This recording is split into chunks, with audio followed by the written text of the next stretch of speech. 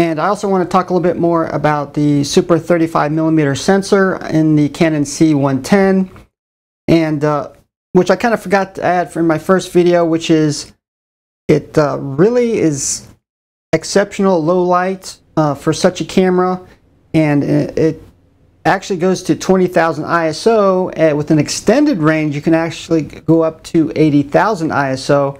Obviously, that would be um, really overkill and plus you're going to introduce a lot of noise.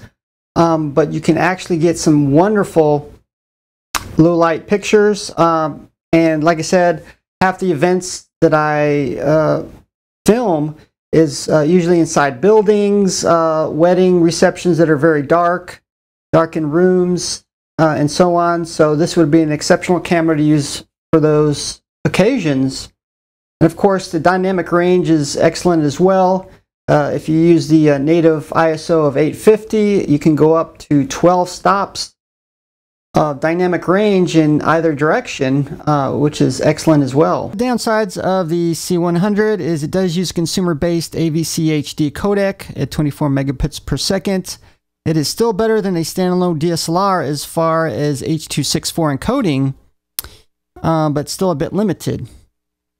Um, also, it maxes out at 1080p at anywhere from 24 to 30 frames per second. It does have 60i, not great for slow motion, but I can show you a way to get around that later on. If you use cinema mode for Canon C Log, there is a way, um, since it darkens the viewfinder, there's a way you can brighten it up. It automatically applies a LUT to it to brighten it up, which is View Assist. C100 does come with the one-shot autofocus. The dual pixel autofocus is a $500 add-on. We're going to take a look at both. We're going to take a look at the one-shot autofocus. Um, you have to go in the menu system if you have both, and then obviously choose the one-shot.